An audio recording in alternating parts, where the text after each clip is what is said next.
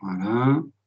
Donc, je mets en plein écran. N'hésitez pas à me dire si jamais ça ne passe pas ou si, euh, si vous ne voyez pas. Euh, donc là, j'imagine que ça doit être bon. Oui, c'est bon, Edouard. OK.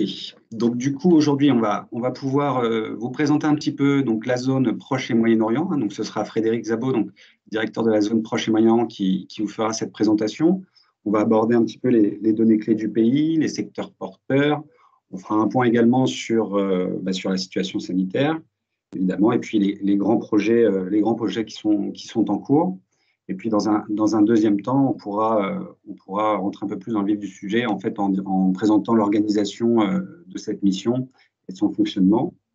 Donc, encore une fois, n'hésitez pas à, poser vos questions dans la barre, de, dans la barre des, dans, le, dans le chat hein, pour, que, pour que Frédéric puisse, qu'on puisse y répondre et que Frédéric puisse y répondre aussi.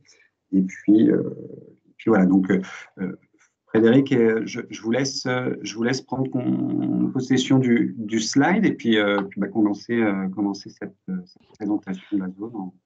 Alors, je, je, vais le faire, Edouard. Je vais demander le contrôle si tu le veux bien. Oui, bien sûr. Puis du coup, comme ça, je m'occuperai de passer les slides. D'accord.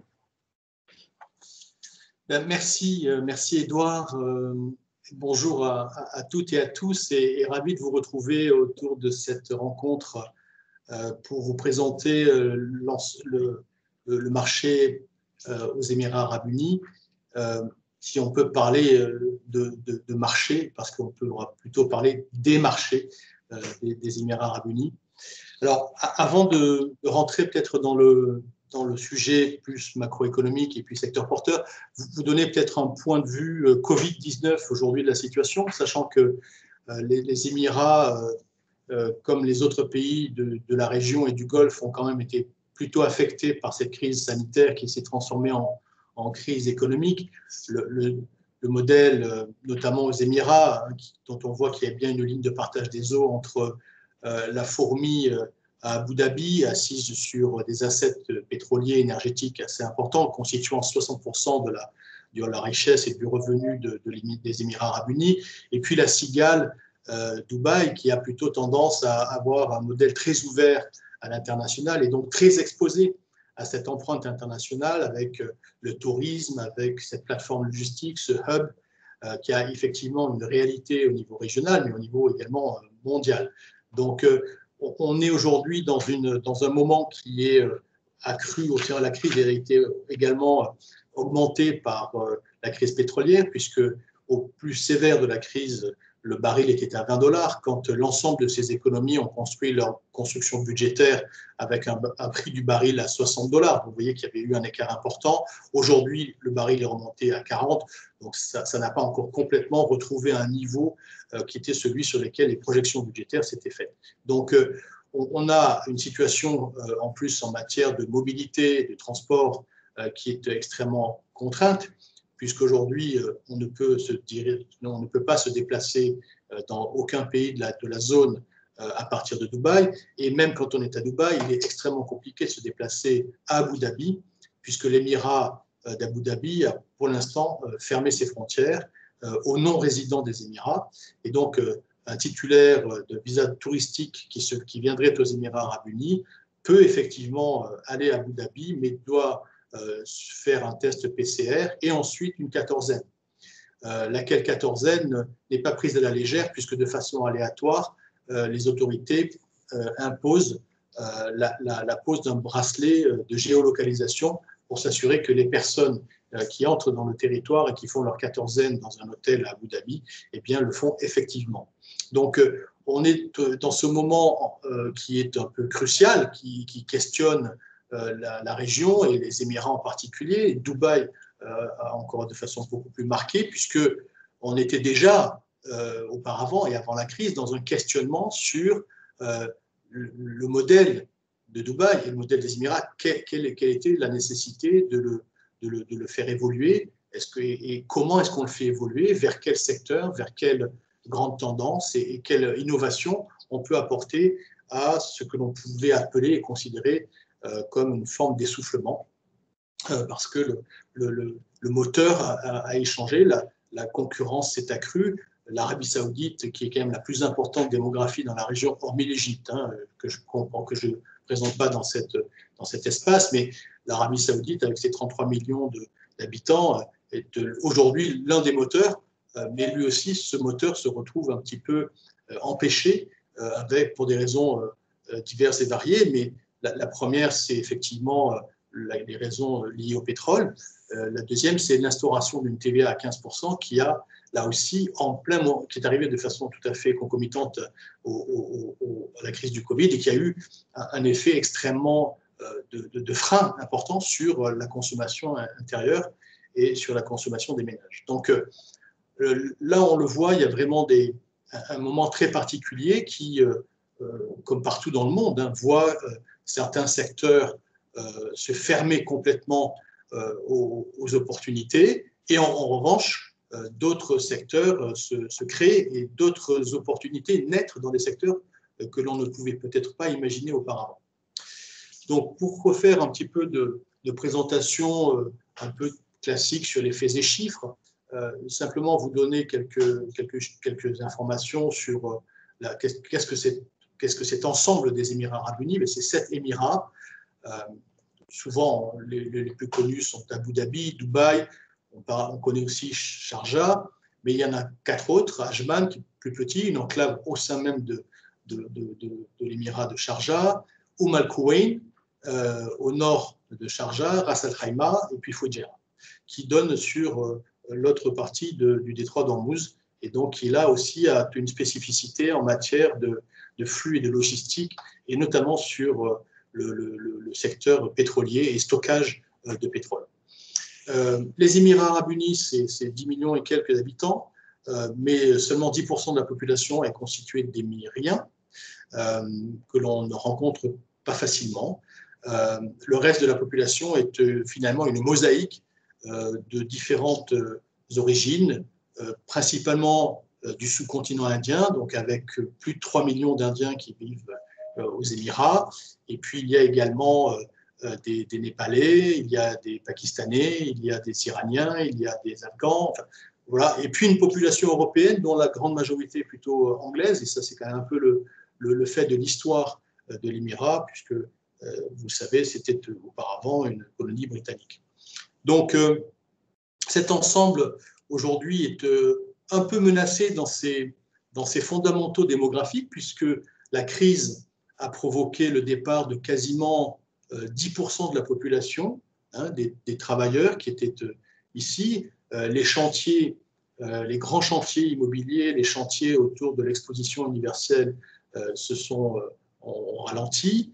Et donc, il y a eu une vague de licenciements massifs. Et quand bien même le gouvernement a permis aux personnes titulaires de visa de résidence et de travail eh bien de, rester aux Émirats, quand bien même il serait arrivé à expiration, eh bien, pour des raisons simplement économiques, euh, il y a eu effectivement euh, des départs importants, mais pas que seulement parmi la, main-d'œuvre, il y a aussi euh, des départs parmi les cols blancs de personnes qui n'ont pas effectivement pu subir de façon trop longue, trop, trop, étalée dans le temps, eh bien, les, diminutions de salaire qui ont été pratiquées par les entreprises aux Émirats. Je prends la première la plus emblématique, Emirates, hein, la compagnie aérienne, qui a, dès le mois de, mars, pratiqué des, réductions de salaire de quasiment 50%.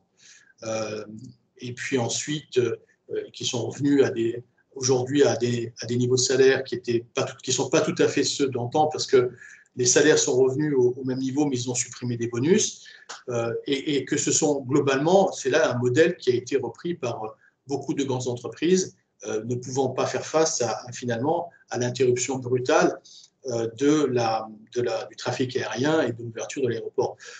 Sans compter les, toute la partie hospitality, donc l'industrie hôtelière, l'industrie touristique. Au plus sévère de la crise, 90% des hôtels à Dubaï étaient fermés. C'est inédit, personne n'avait jamais vu ça. Aujourd'hui, on revient à des taux d'occupation un peu, un peu plus important. On était tombé à des taux d'occupation qui étaient de l'ordre de 27%. Et, là, maintenant, on est revenu à peu près à 63% de, taux d'occupation dans les hôtels, en tout cas pendant la période de l'été, où il y a eu effectivement un peu plus de touristes qui sont, qui sont revenus. Et donc, on, a, on, le voit, il y a quand même un, moment qui questionne sur ce devenir, sur le, les, nouveaux développements qui vont se produire dans la région. Donc, euh, Dubaï et, les Émirats conservent quand même euh, cette position très stratégique. Euh, et ça, quoi qu'il en soit, ça, restera. Donc, c'est vraiment un, pôle de rayonnement qui, qui, est très important à trois niveaux. C'est le troisième centre de réexportation mondial, ce qui est quand même très important. Euh, c'est le premier pôle logistique régional donc dans cet ensemble euh, Proche et Moyen-Orient, et plutôt GCC, donc les pays du Golfe. Et puis c'est euh, le premier par la surface commerciale, c'est-à-dire que si on, fait un ratio du nombre de mètres carrés dédiés au retail et commercial, voilà, c'est Dubaï qui l'emporte haut la main. et donc là, j'étais ce matin en rendez-vous avec justement un des grands opérateurs du, du, retail et qui dit que malgré tout, euh, cette, plateforme perdure aujourd'hui, même et, donc en, la comparant à, situation égale liée à, la, à la, pandémie, eh bien, elle, conserve ce statut de, position euh, extrêmement forte en matière d'offres commerciales. Donc, sur le, volet euh, du Covid, la situation sanitaire est plutôt bien gérée.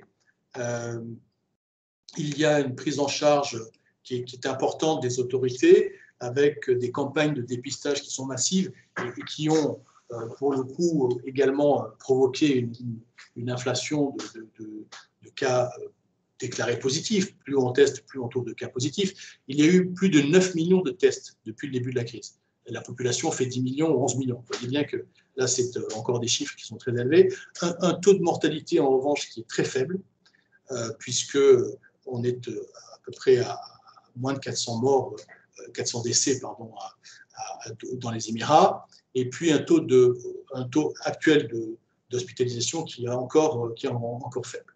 Donc, euh, mais c'est vrai que ça s'est fait parce que, euh, pour le coup, les décisions ont été prises de façon assez, assez unilatérale et elles ont été suivies. Il n'y a pas eu de, il n'y a pas eu de, c'était très clair à chaque fois. Les annonces étaient souvent faites d'ailleurs du jour au lendemain, donc c'était là où c'était un peu compliqué en communication. Mais sinon, globalement, euh, les habitants euh, de Dubaï, d'Abu Dhabi, savaient assez vite à quoi s'en tenir en matière de mesures euh, de protection, de gestes barrières et puis de limitation des déplacements, des contacts. Et, donc aujourd'hui, on est dans un déconfinement qui, qui, est, déjà complet.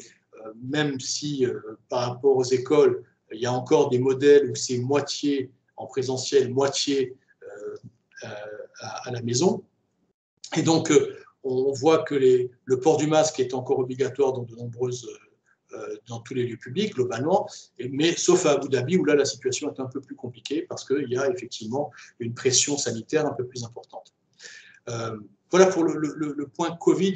S'il y avait des questions, euh, je serais ravi d'être interrompu. Ne vous, censurez pas, euh, n'attendez pas non plus de, la fin de, l'intervention. Si, vraiment vous avez, euh, vous émettez l'envie de, poser une question, faites-le vraiment en live. Je vous invite parce que moi, je pense qu'on n'est pas trop nombreux. On, peut se permettre de, partir sur un dialogue vraiment très spontané et je m'efforcerai de répondre mieux aux questions qui seront posées. Voilà, sur le, sur le, la partie euh, un peu environnement euh, macro, macroéconomique. Après, sur la géopolitique, on, est aussi à un moment qui est particulier. Euh, là, l'accord de normalisation avec Israël a, été effectivement inattendu et il a créé la surprise. Il est aujourd'hui très, très porté par les Israéliens et on voit une accélération de, du nombre de, relations, euh, de nombre de signatures de MOU. Un premier voyage euh, d'homme d'affaires israélien euh, est arrivé à Abu Dhabi en, septembre avec à sa tête Kushner, le, conseiller sur ses affaires de, Donald Trump. Et puis, on, voit que le voyage de retour se prépare. mais je le, je, le, disais pas plus tard que ce matin aux équipes, on a la, la première ouverture d'un restaurant cachère à Dubaï, qui est au pied de la tour Burj Khalifa, dans un restaurant de l'hôtel Armani. C'est quand même révélateur parce que vous voyez, l'accord de normalisation, il a à peine un mois. Et donc, vous voyez la, la, vélocité avec laquelle euh, les opportunités se développent. On voit qu'il y a des accords qui se passent au niveau des ports, au niveau euh, des banques, au niveau de l'immobilier.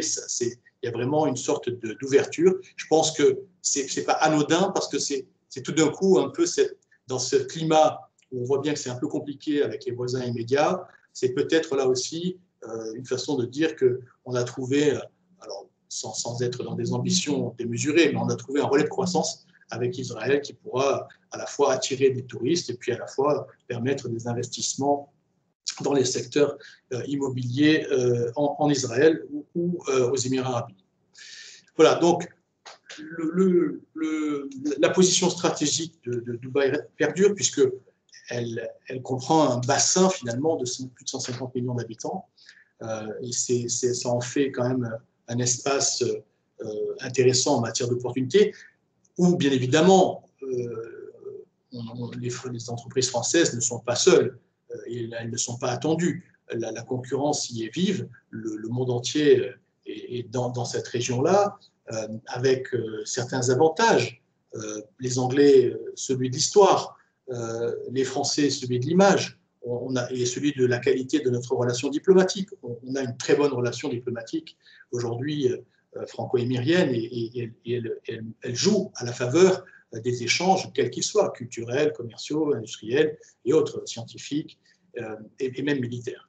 Donc, euh, on, a une très bonne relation qui, joue à la faveur de ces échanges, mais je pense qu'on peut mieux faire dans la mesure où aujourd'hui, peut-être que, comme partout, on est encore un peu sous le poids de clichés de part et d'autre. C'est-à-dire qu'on se connaît un peu dans nos fondamentaux un peu faciles, un peu superficiel. Euh, et puis, on ne va pas peut-être suffisamment euh, en profondeur. Et, finalement, c'est là qu'on se rend compte qu'on ne se connaît pas très bien. Donc, euh, une des façons de peut-être mieux se connaître, c'est de venir plus souvent. Aujourd'hui, ce n'est pas, possible, mais ça le sera vite. Enfin, aujourd'hui, aujourd'hui c'est possible finalement les visas touristes sont, sont autorisés et délivrés pour, Dubaï. Mais une des la, façon la, la, plus adéquate finalement de pouvoir faire des affaires euh, dans, cette, dans cette zone et aux Émirats et à Dubaï en particulier, c'est bien évidemment d'y venir, euh, de, prendre vraiment le pouls euh, de, cette ambiance qui est une ambiance extrêmement multiculturelle, polymorphe. Moi, ça fait un an que je suis là, ça fait pas très longtemps et j'étais là aussi sous le poids de certains de clichés. Dubaï, la, ville de tous les excès, le bling bling. Et, en fait, non, on se rend compte que parfois, en croisant un carrefour, on, est à, on est à, on est à, Bombay. Quand on, croise un autre carrefour, on est à Karachi. Et quand on croise un troisième carrefour, on, est voilà, dans un autre monde. Donc, c'est ça Dubaï. et c'est ça qui aussi doit être intégré dans une démarche stratégique d'approche du marché, c'est que on ne peut pas ignorer euh, la démographie et, ça, et la composition démographique euh, de, Dubaï, en tout cas dans l'activité la, de, de, B2C. Donc, quand il y a, on est sur du bien de consommation, euh, l'exemple en tête d'une entreprise dans le secteur de la mode, euh, du prêt-à-porter, du vêtement, qui a, très bien réussi ici parce qu'elle avait déjà très bien réussi en Inde et qu'elle s'est installée dans les malls euh, où elle savait que le visitorat, la clientèle du mall était une clientèle à majorité indienne. Et donc, capitalisant sur la success story qu'elle avait pu créer en Inde, elle a pu démarrer euh, le développement commercial de sa marque euh, aux Émirats avec ce prisme-là. et c'était c'était un très bon calcul. Donc, ça, c'est vraiment sur le sujet des, biens de consommation et des biens, je dirais, pour la personne. sur les questions économiques, bon, je ne vais pas vous relire les, données, vous les lisez, vous les découvrez sur la présentation euh, PowerPoint, mais comme je vous le disais tout au début de l'allocution, le, le Covid-19 a été une crise qui a été amplifiée euh, par euh, la chute des prix du pétrole et puis les diminutions de production. Donc ça, ça, affecte l'ensemble des pays, y compris les pays voisins, et, et Abu Dhabi, qui est l'émirat où effectivement euh, se concentre l'ensemble de la production de pétrole pour euh, cet ensemble des Émirats arabes unis. Donc, s'il vous plaît, Myriam, si vous passez à la prochaine diapositive. Donc, on va peut-être rentrer plus en détail dans les secteurs porteurs.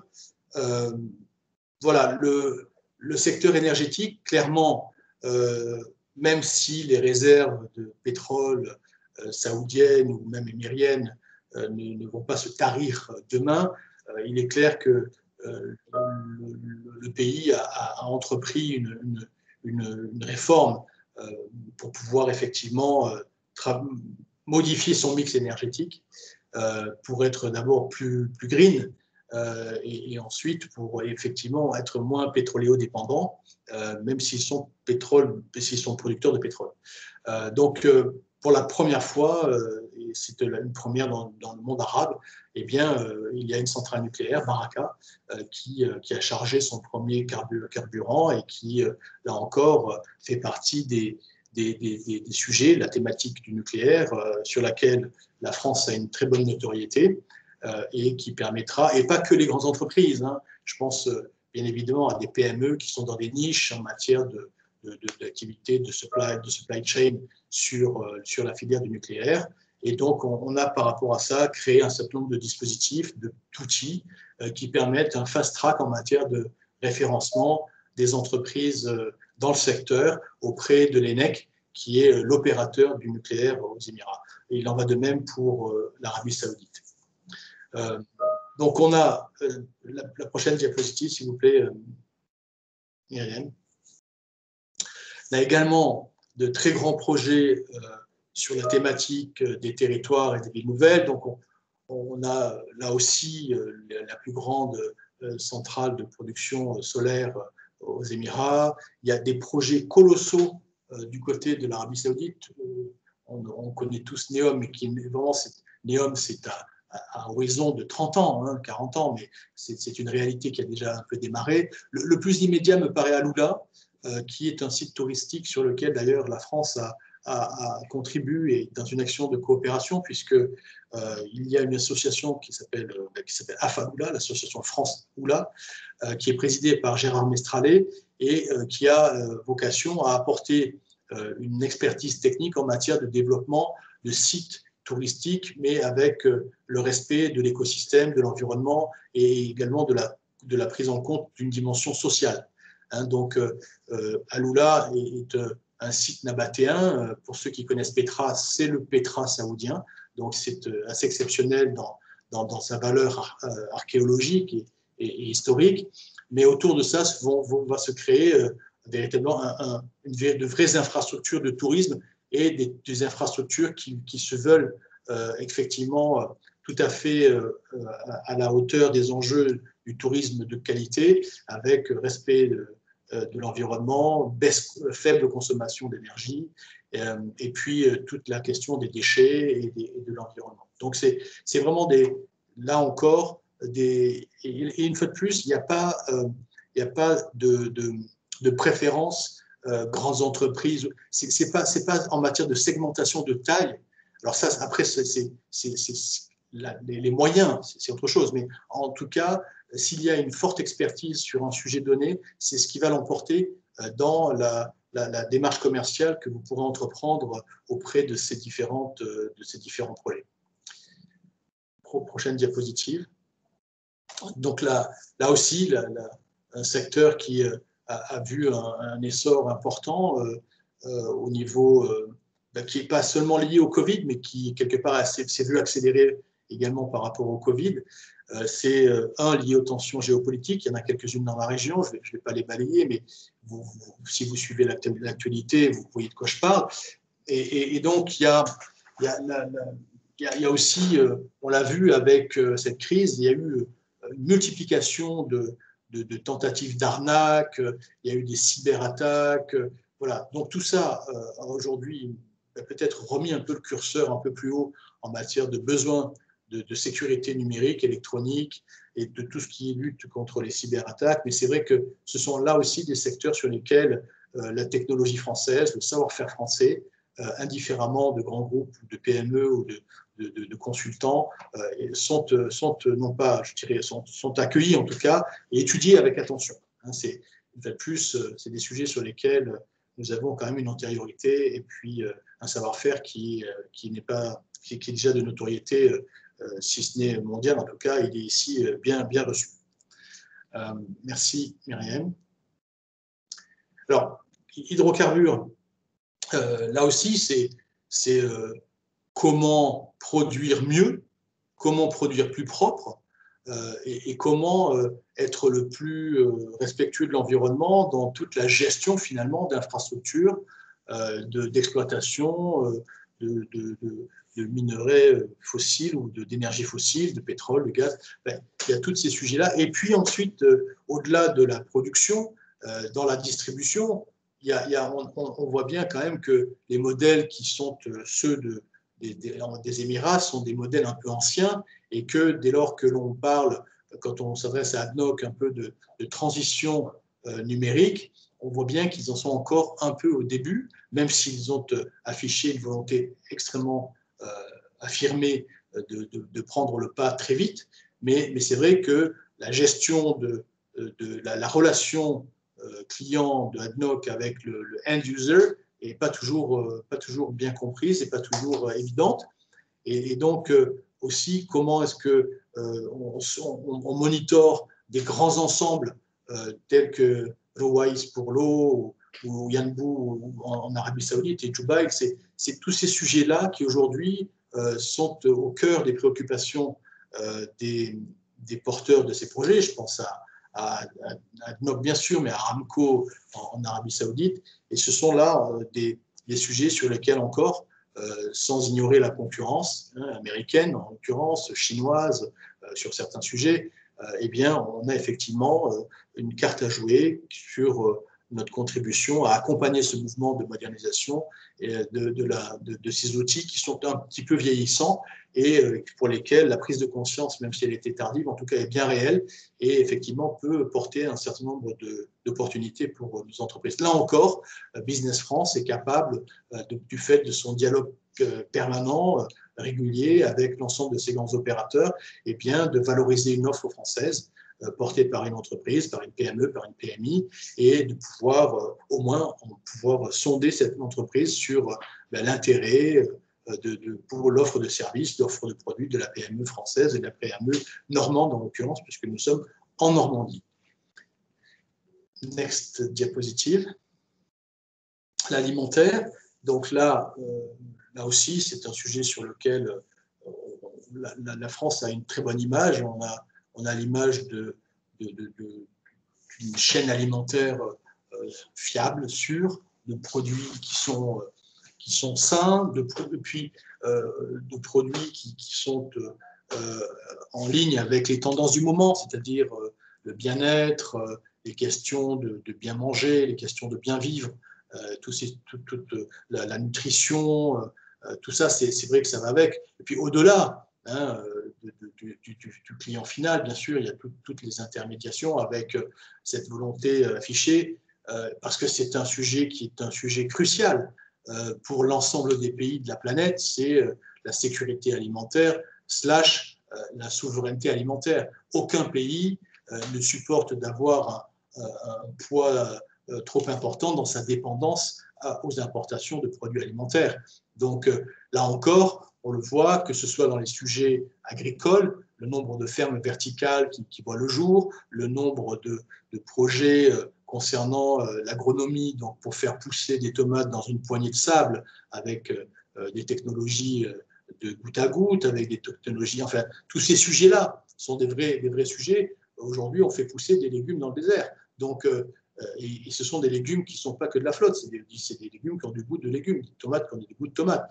Donc, euh, on voit que tout ça est effectivement, ben, il y, a toujours un, ajustement. Est-ce que finalement, en, en, produisant en local, ben, on décourage un peu nos fournisseurs étrangers de, poursuivre leur démarche euh, de promotion de leur, offre ici? Et, donc, il faut trouver le bon équilibre entre ben, les exigences euh, et les attentes de souveraineté, et derrière aussi les, les, contraintes économiques, qui, parce que derrière euh, ces, ces, activités localisées, il y a de l'emploi. Et, dans une situation euh, que vous imaginez aujourd'hui, celle de la crise, toute initiative qui permettra d'absorber une partie de, la main-d'œuvre qui aujourd'hui est soit inactive, soit en train de partir, eh bien, ce seront des initiatives qui auront répondu à la commande nationale.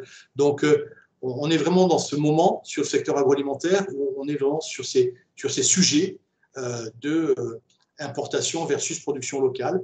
Mais dans les deux cas de figure, les, entreprises, et a fortiori en Normandie, qui a une réputation dans le secteur alimentaire qui, n'est plus à faire, euh, eh bien, on a une carte à jouer, aussi bien du côté de l'aide à, la, production locale, euh, y compris dans les produits euh, laitiers, ça se fait déjà, et puis après, on a une, capacité à aussi ben, l'offre de produits finis normands, et, là aussi par la crème, par les produits, par le beurre et, autres, c'est pour ne citer que cela. Mais on a également sur, sur, ce, sur, cette, sur ce secteur aujourd'hui de, des opportunités parce que de toute façon, pour le coup, là, la crise n'a pas vraiment beaucoup modifié euh, la consommation. Il euh, faut continuer à manger même si on est en crise. Euh, elle a un impact en revanche sur la restauration hors foyer.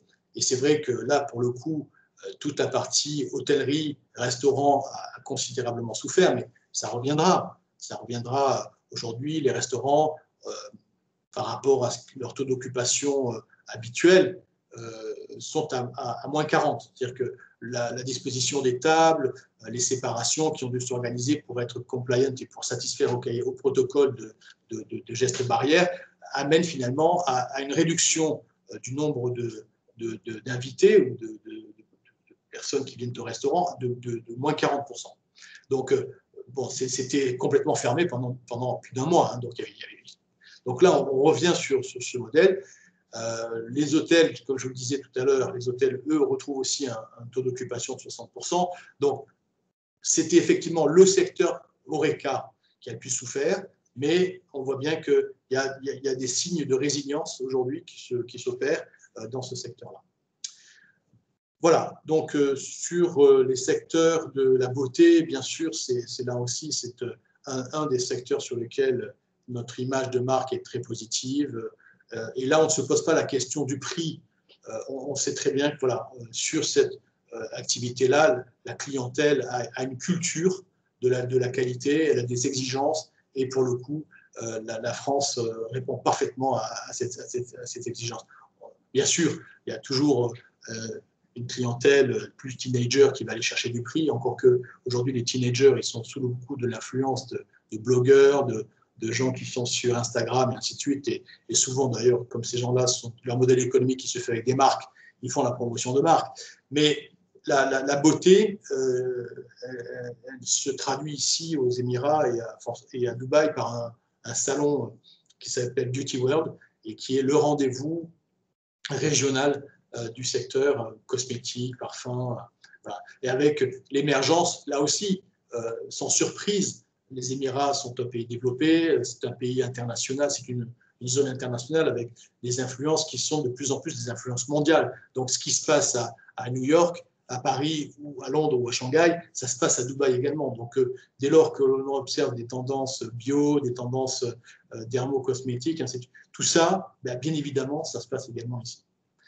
Euh, sur la mode, et je sais qu'il y a des tricots Saint-James qui sont présents à la rencontre, il y a alors là, c'est un secteur qui, euh, euh, qui, a pas mal souffert, en tout cas dans les entrées de gamme, mais le, haut de gamme se tient bien parce qu'il y a une clientèle qui est fidèle et le haut de gamme a réussi aussi à accélérer sa, mutation vers le e-commerce, qui a été un relais de croissance important.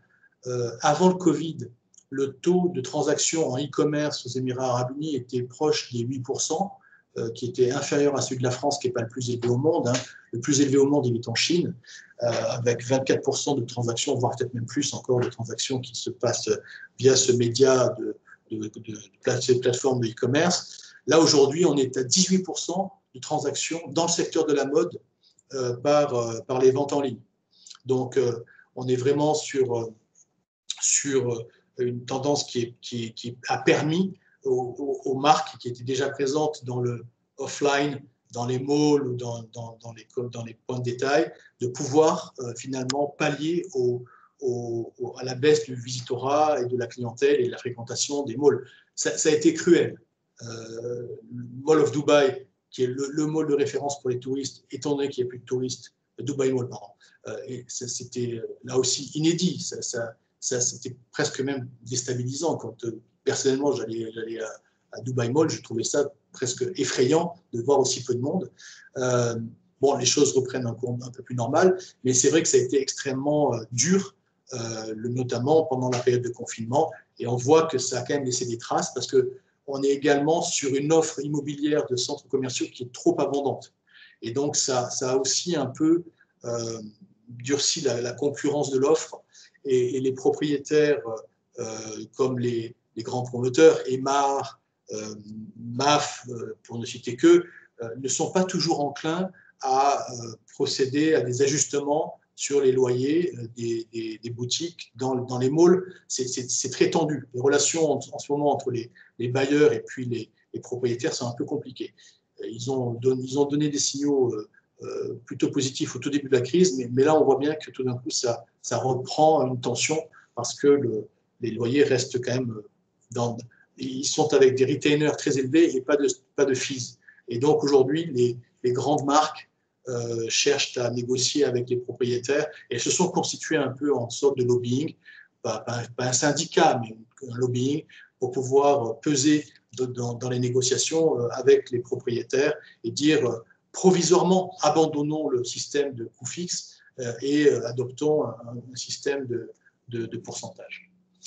Donc, sur, sur l'ensemble de ces secteurs-là, il, y a, il, il, il y a des fenêtres de tir elles, sont à travailler. Et, là, la meilleure façon de, pouvoir euh, obtenir euh, euh, ben, un go-no-go sur la prise de décision de j'y vais, j'y vais pas, ben, c'est de procéder peut-être dans un premier temps à, une étude de marché, de, reprendre un peu les bonnes habitudes, un peu académiques, mais qui ont fait leur preuve de, pouvoir à la fois dimensionner le marché, voir quel est le poids de la concurrence, quel est le poids euh, de, la production locale, quelles sont les habitudes des consommateurs, quelles sont les segmentations clients. On a une population très jeune aux Émirats, 55% de la population est jeune.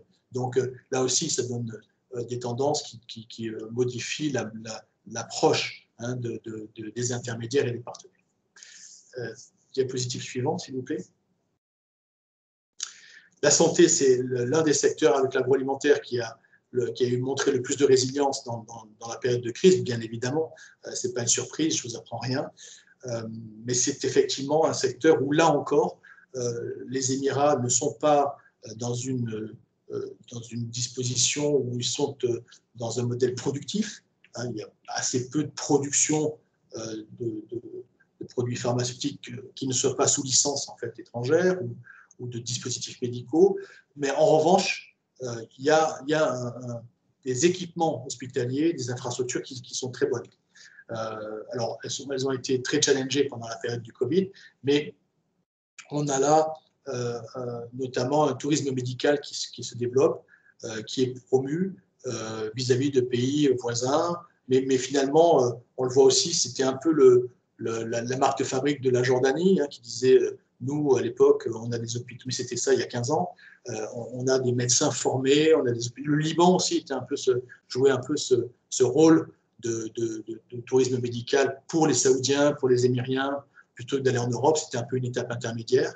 Euh, aujourd'hui, ben voilà, chaque pays dans, la, région, fort de, son, euh, de ses compétences locales, fort de ses infrastructures, eh bien, s'est lancé dans cette aventure de promotion du tourisme médical. Donc, euh, et puis sur le secteur des, devices, pardon, des, dispositifs, il y a effectivement, euh, et là ça ne concerne pas forcément que le secteur de la santé, euh, l'intelligence artificielle aujourd'hui c'est vraiment le maître mot aux Émirats, on en parle dans tous les sens, parfois de façon un petit peu désordonnée, mais c'est effectivement la, couche additionnelle que l'on met partout. On la met dans la transition numérique chez ADNOC, on la met chez Smart Dubai, on la met dans, dans, dans la santé, mais, on n'a pas encore euh, vraiment euh, la masse critique de data aux Émirats, propre aux Émirats, pour vraiment euh, déployer de, des, du deep learning, du deep tech, parce qu'à contrario des Chinois, dont je vous rappelle que si ces plateformes telles que Alibaba, JD.com se sont développées à vitesse grand V, c'est pas pour faire du chiffre d'affaires sur la vente de produits, c'est pour faire de la, de l'acquisition de données et, parfois même au, risque de perdre un peu d'argent parce qu'il y a toujours ce fameux dernier kilomètre qui n'est pas, pas rentable. et donc, comme les Émirats n'ont pas d'Alibaba ou de JD.com ou d'autres sources de data que les classiques, hein, qui sont principalement dans les utilities, c'est-à-dire DIWA pour l'eau et l'électricité, euh, probablement ADNOC aussi pour l'énergie et, d'autres, euh, RTA pour les transports et les mobilités. Euh, on est encore un peu au balbutiement. Il y a beaucoup d'intentions. À, ce titre, d'ailleurs, un MOU a été signé avec, avec Bercy sur l'intelligence artificielle et de, voir comment est-ce qu'on pouvait encourager les entreprises à rejoindre cette, cette, cette volonté-là et à la rendre la plus concrète possible. Mais pour l'instant, voilà, l'intelligence artificielle, c'est quand même très des sujets euh, euh, surveillance, sécurité, euh, comment accroître les recettes fiscales en donnant plus de moyens à la police pour augmenter le, taux de PV parce que par rapport aux infractions. Donc c'est un peu basique.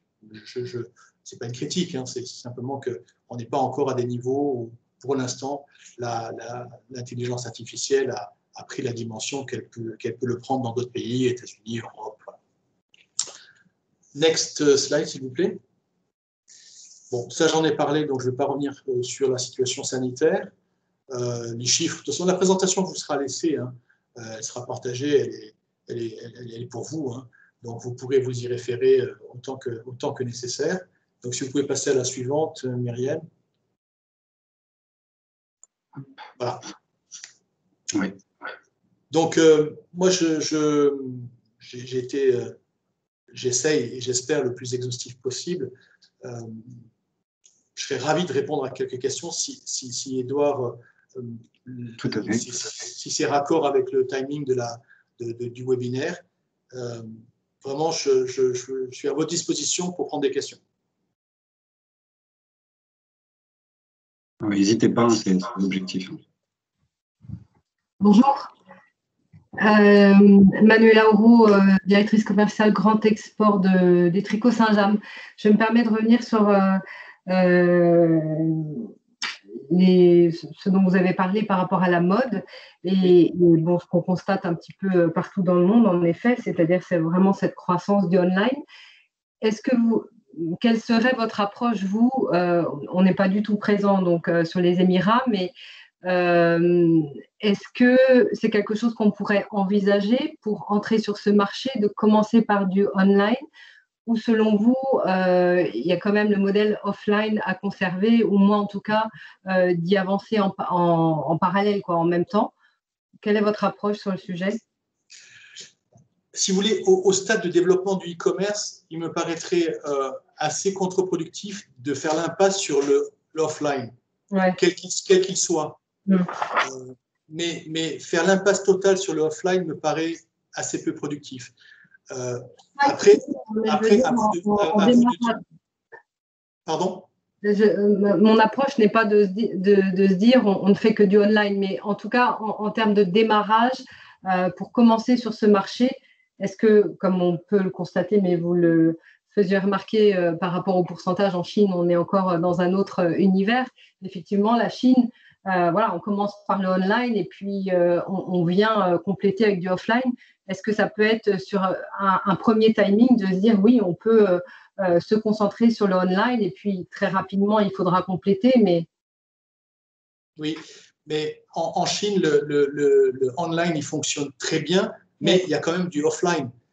et, l'un joue comme une caisse de résonance vis-à-vis de l'autre. Tout à fait. et, là, euh, aux Émirats, c'est un peu la même chose, sauf que vous, le, offline est un peu plus impérieux euh, qu'il que, ne l'est en Chine.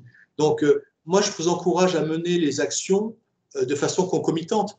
Il y a déjà des plateformes de distribution, notamment fashion, qui existent aux Émirats, des plateformes de e-commerce, de voir éventuellement quel serait le, partenaire qui a déjà un certain nombre de, marques qui seraient prêts à vous prendre euh, et à pousser et à développer euh, et, à monter les deux ensemble. Ça, me paraîtrait être une approche, alors bien évidemment c'est l'approche idéale et, elle doit être accompagnée de moyens conséquents et en tout cas proportionnés. Mais, mais pour moi, ça me paraît ne, ne, pas démarrer le, le, online en même temps que le offline, euh, ou démarrer le, le online sans le, le offline, ça me paraît compliqué. D'accord. Merci. Et ne faire que du offline, ben, vous, vous, vous coupe une partie de la clientèle. Oui, tout à fait. Donc il faut vraiment tenir compte euh, aujourd'hui plus que jamais. Et, d'autant plus qu'avec du, du, offline à Dubaï, euh, vous pouvez euh, également avoir un rayonnement online régional. Vous pouvez adresser des clients en Saoudi avec votre online et, et, éventuellement votre structure logistique à Dubaï. Ça vous permet de rebondir mm. sur les marchés à, à côté. D'accord. Y a-t-il d'autres questions euh, pour Frédéric? Oui, bonjour, Cécile Viala, Maison de Parfum Berry. Euh, évidemment, les Émirats et toute la péninsule arabique sont très friands de parfums français. Moi, je suis, je suis la créatrice de deux petites marques de niche, hein, de parfums de niche, made in Normandie. et du coup, j'ai déjà fait le salon à Dubaï avec Business France, qui était intéressant. Ah. Vous m'entendez? Ça y est, on vous entend à nouveau. c'est bon. Ah, est-ce que vous voulez que je dois reprendre depuis le début ou je ne sais pas depuis quand ce... Non, non, vous étiez présente sur le salon avec Business France. Voilà, c'est ça. Et j'avais constaté en fait que les, clients qui passaient sur le salon, en tout cas sur le stand Business France, étaient davantage intéressés par des produits, des marques blanches, si vous voulez, des, créations de. Et du coup, moi, je, suis très peu présente. Je suis dans un magasin de luxe qui s'appelle Jovois à Dubaï et je suis également à Doha mais du coup, j'aurais bien voulu avoir connaître un petit peu davantage, avoir plus d'informations concernant le, la mission collective et ce qu'on pouvait en attendre et peut-être la pénétration de ce marché qui est un peu complexe quand on est une toute petite entreprise comme moi. Bien sûr. Bah, écoutez, Madame Viella, moi je suis, ravi de vous entendre. On se connaît, on s'est rencontrés quelques fois déjà. Excusez-moi. Donc, pas identifié, y compris en Normandie lors de journées de l'international à, Deauville, me semble-t-il. Oui, d'accord et, puis sûrement sur le salon. Écoutez, nous, euh, ben, la, mission, Edouard va la présenter, mais, globalement, euh, c'est dites-nous qui vous voulez rencontrer et on vous le présente avec un niveau d'exigence en matière de qualification qui fait de nous presque des maniaques, puisqu'on on va, on va vous présenter des personnes qui répondent à 85% de vos critères de sélection. D'accord. Et. Et formidable, je vous remercie, c'est merveilleux. mais du coup, c'est sous quelle forme? C'est-à-dire, ça, il faut. c'est dans, le cadre de la mission, c'est dans le cadre d'un contrat Business France, comment ça marche? Je ne vais pas découvrir le sujet, je vais laisser Edouard en parler, parce que c'est partie du sujet qui, qui, qui, doit être présenté maintenant. Donc on peut peut-être passer à d'autres questions s'il y en a, mais cette question-là, Madame Piala, elle sera traitée par, par la prochaine séquence de la, du webinaire. Y a-t-il d'autres questions? N'hésitez pas. écoutez, merci en tout cas de votre attention. J'espère euh, avoir euh, partiellement au moins répondu à, vos interrogations. Euh, j'espère vous avoir apporté des informations que vous n'aviez pas auparavant. J'essaie d'être un petit peu différent de ce que vous pouvez trouver sur Internet et de vous donner des tips qui sont des tips de personnes qui vivent, comme Myriam et moi ici aux Émirats, et et que nous partageons très volontiers. C'est notre travail, c'est notre passion. Donc, euh, n'hésitez pas à, revenir vers nous à travers Edouard euh, et je vous remercie pour votre attention et espère avoir le, plaisir de vous accueillir virtuellement ou en présentiel dans cette région-là avec, avec beaucoup de joie. Merci beaucoup Frédéric pour, pour votre présentation. Donc, euh, en effet, pour, pour, rentrer, pour rentrer sur l'organisation de cette mission, et en fait comment celle-ci va, se formaliser. Euh, donc, si vous voulez, vous avez donc la mission donc initialement appelée Émirats Arabes Unis, avec la possibilité derrière, puisqu'on est vraiment sur de l'accompagnement sur mesure, d'avoir des extensions possibles hein, en fonction de vos projets sur l'Arabie Saoudite ou Koweït. Donc là, c'est sur ces sujets-là, euh, il ne faudra pas hésiter euh, de toute façon à vous rapprocher de votre, votre conseiller international, hein, votre référent, qui, pourra, qui pourra échanger avec vous à ce sujet et du coup préparer l'amont de la mission. Donc, l'amont de la mission, c'est vraiment de pouvoir, euh, justement, comme Frédéric le disait, aller échanger avec, avec ces équipes, sur votre potentiel marché, sur la base d'un cahier des charges que vous aurez préalablement rempli et qui permettra de, voilà, d'affirmer ou en tout cas d'assurer un petit peu l'intérêt ou le potentiel que vous pouvez avoir sur, ce, sur cette zone. Et puis derrière, donc la confirmation de l'inscription. entre deux, évidemment, donc vous allez pouvoir échanger de manière plus concrète avec les bureaux, hein, voir un petit peu euh, comment vous pouvez aborder ces marchés-là, en construisant donc un ciblage marché euh, avec une liste de prospects qui serait idéalement euh, à être, qui serait donc à, contacter et à aborder. Une fois sur place et une fois les ciblages donc validés et donc une fois sur place, il y a donc prévu, y a donc de prévu donc un cadrage collectif avec par la suite donc des rencontres des prospects donc avec l'organisation du programme de rendez-vous euh, des prospects qui auront donc euh, suscité euh, intérêt quant à votre entreprise. Et puis un dîner networking pour pouvoir justement échanger avec, avec cette délégation normande, hein, qui est vraiment l'objectif de la mission collective, c'est vraiment pouvoir, pouvoir échanger les uns avec les autres et, et puis également partager, partager donc, voilà, vos bonnes pratiques et vos expériences mutuelles sur la zone, avec certains invités également qu'on peut qu'on pourra faire intervenir sur ce, sur dîner networking. Donc, les, avantages, donc, comme je le disais, c'est vraiment, cette dynamique euh, avec l'organisation clé en main euh, d'une démarche de prospection, avec donc, euh, le ciblage et puis ces rencontres, et évidemment l'accompagnement de la région au travers donc, de deux, subventions possibles. Vous avez d'un côté l'impulsion export euh, qui est donc la subvention euh, de, de la Normandie, qui, qui, peut vous être, euh, qui sous réserve d'éligibilité sera pour intervenir sur, votre, sur, sur, sur la mission, donc à hauteur de, de 50%, au maximum de 50% sur, sur, sur ces frais-là. Et puis d'un autre côté, le chèque relance export de l'État qui, qui, qui, est, qui est en train d'être mis en place, qui, qui est lancé, lancé actuellement pour, pour, vous, pour vous aider davantage sur, bah, sur, sur vos projets internationaux. Donc ces, deux subventions sont, cumulables et, euh, ont pour but de, faciliter un peu vos démarches. Donc, euh, comment ça va euh, se concrétiser? Alors, je passe à la slide suivante. Donc, si vous voulez, aujourd'hui, vous avez donc plusieurs choix, donc, comme je vous l'ai expliqué, les Émirats arabes unis sur un programme de 2,5 jours à 4040 euros, ou éventuellement avec les extensions en fonction de votre stratégie, de votre approche que vous aurez pu mettre en place avec les équipes de Frédéric et puis en fonction de votre stratégie, donc c'est-à-dire Émirats arabes unis avec l'Arabie ou Koweït, ou éventuellement hein, euh, d'autres options hein, qui, seront définies, euh, qui seront définies en amont. Pour compléter euh, ces prestations, libre à vous également d'y intégrer certaines options pour dynamiser, accélérer, favoriser, je dirais, favoriser le, les, contacts et le développement des affaires locales, donc à travers différents services, hein, la promotion de l'entreprise dans les médias, le suivi de la relation commerciale, l'accompagnement d'un expert local, Team France Export, l'interprète arabophone anglophone, transport individuel, location d'avions avec chauffeur.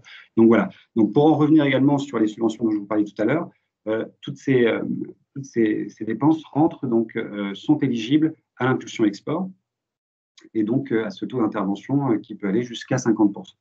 Derrière également, avec qui sont cumulables, comme je disais, avec le chèque relance qui lui, du coup, et euh, peut être sollicité. Donc, il y a une valeur de 2000 euros, si vous voulez, dans la limite de 50% de la valeur initiale de la prestation. C'est assez précis, mais donc ça veut dire que euh, ces 2000 euros sont, mobilisables donc, euh, donc pour cette mission. Donc, pas hésiter sur ces sujets-là, encore une fois, de, vous rapprocher auprès de votre, votre conseiller qui pourra vous expliquer plus en détail l'articulation et l'organisation de ces subventions. Euh, aujourd'hui, si vous voulez, au vu donc euh, bah, de la situation sanitaire que l'on connaît tous, hein, comme Frédéric l'a expliqué, il n'y a pas de raison à, ce que la mission ne, se fasse pas.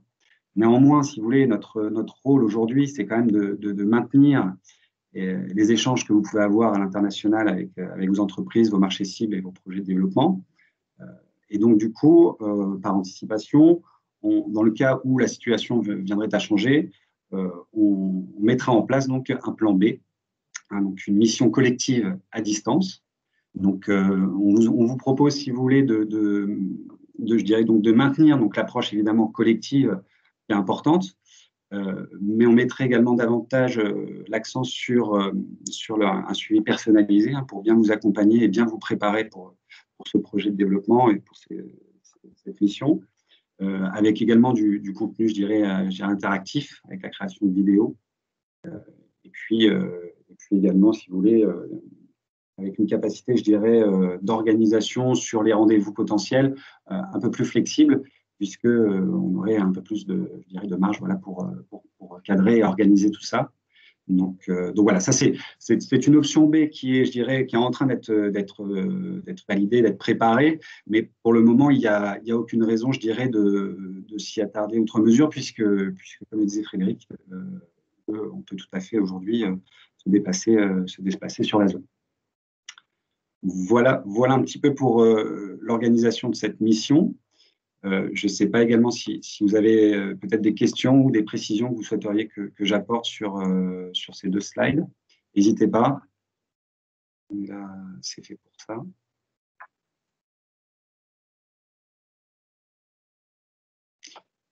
Donc, j'imagine qu'il n'y a pas d'autres questions. De toute façon, comme le, dit Frédéric, la, ce, meetup est donc enregistré, donc on, pourra, on vous fera passer suite à ce meetup bah, la présentation et l'enregistrement. Et, euh, puis surtout, on reviendra vers vous également pour, euh, pour échanger un petit peu sur, euh, sur, ce, sur, sur, sur vos, vos, projets. N'hésitez pas encore une fois à rester, à rester en contact avec, avec votre conseiller qui, sera là également pour vous accompagner dans, l'affinage, je dirais, dans la préparation de cette mission collective, donc du 5 au 12 février, euh, avec une deadline sur les inscriptions qui est le 25 octobre. Prévu au 25 octobre. Voilà. Donc, euh, je pense que s'il n'y a pas de questions, on va pouvoir conclure. Euh, je vous remercie, je remercie beaucoup. Encore merci à Frédéric et Myriam pour pour la préparation de ce meet-up, également à Béatrice qui m'a bien aidé sur, euh, sur cette organisation. Et puis, euh, ben, on reste à votre disposition. Merci à vous également pour votre intérêt sur, euh, sur cette mission. Merci, merci Edouard, merci Béatrice et merci à tous les participants et à très bientôt, j'espère. À bientôt. À bientôt. Au revoir. Au revoir.